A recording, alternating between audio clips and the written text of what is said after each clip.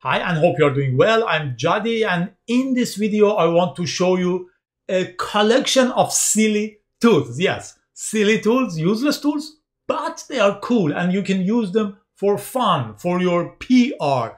I even sometimes use some of them, especially two of them I really like and always install them and always use them time to time for fun. Uh, these are tools which help you look like a hacker in Hollywood movies, just like this one.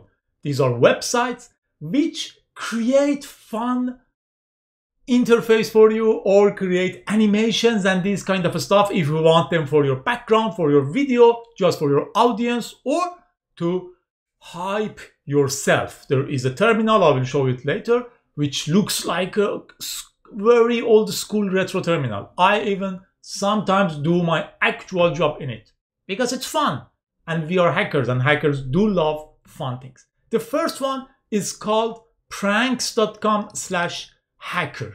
It's a website. You can go full screen so it won't look like a website in which you can do many things. You can open things, neural network tracing, meaningless, password cracker, meaningless. It has a program console.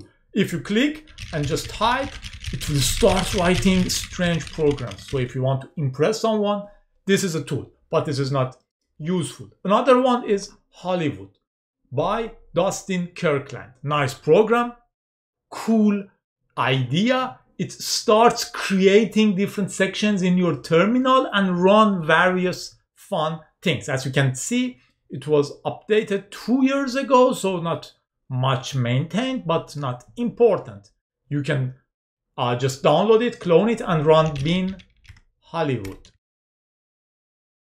It will create different Tmux-like sessions and start running some general real programs there, like top, like htop, and different stuff, or even this, and these are fun, and we'll change them, so uh, maybe a nice background. Still not my go-to tool.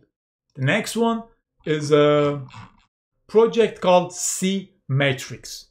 Everyone loves Matrix and C Matrix will pretend to be in Matrix. I did a control C, so we can go with C Matrix. Normally it will show a Matrix style animation. If I want to run it, I always do it dash, if I'm correct, B, C, blue.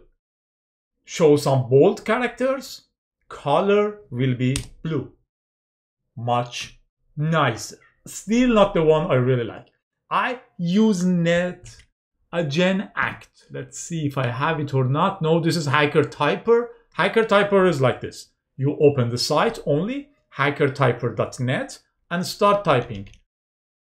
It types much faster than you and just types what I believe is a kernel source or something cool if you wanted to use it in a movie.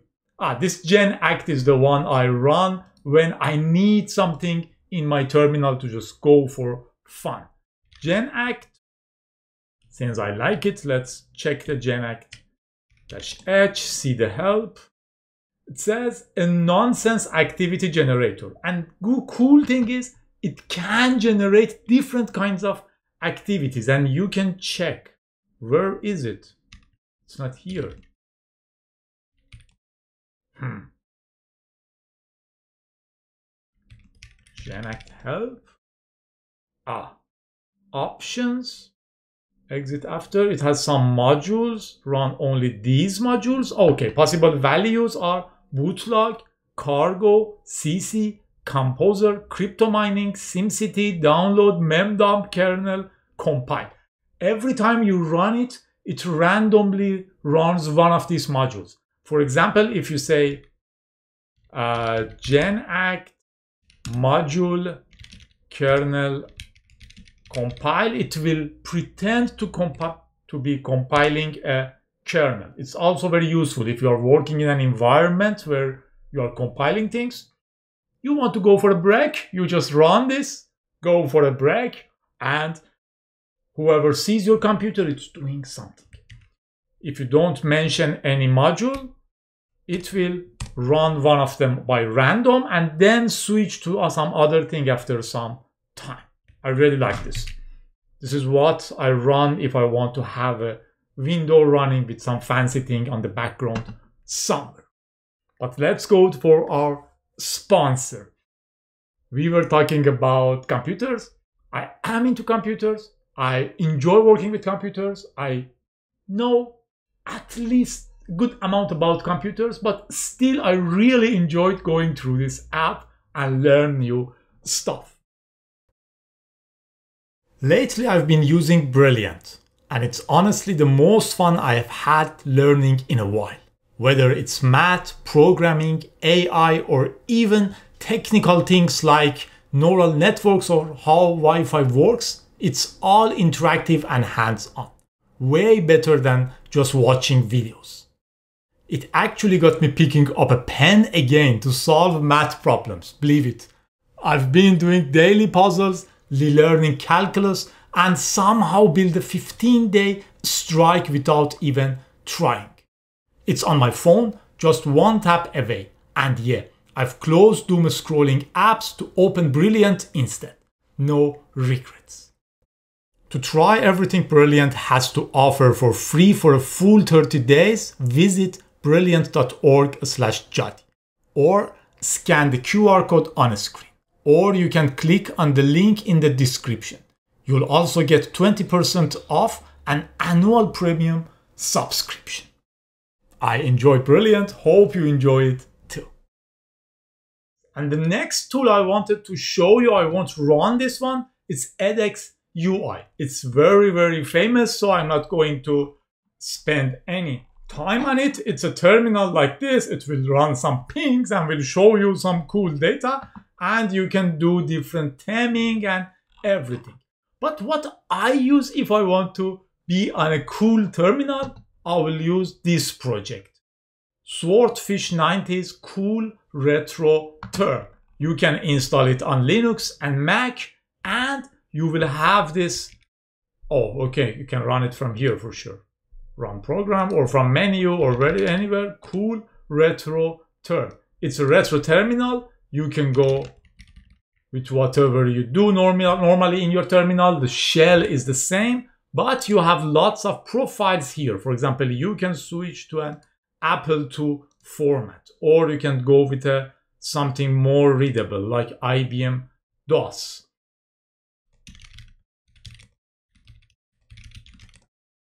it's very cool and the fun part is you can do your actual work in this. It's a terminal. Just the looks are different or you can customize it for yourself. So this is something which i always use if i want to have fun or enjoy myself doing something. And also genact is something i go to if i want to have something running on the background on my screen. The fun fact is even you know, I'm not sure if you know Nmap or not. Normally, you should know Nmap. Nmap is uh, a very, very strong tool to check networks status.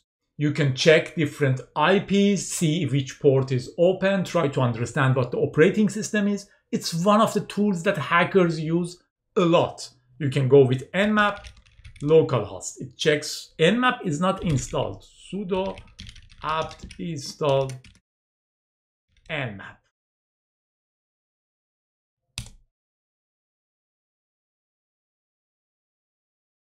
So we can go with nmap localhost. It will check localhost. It's localhost, so it's fast. It says these ports are open and this is how this machine works. We can do this for other ports and everything or check what operating system is and other stuff. The fun part is on the nmap.org website, there is a page dedicated to in the movies. In Matrix Reloaded, they use Nmap when they wanted to show something great is going on on the screen.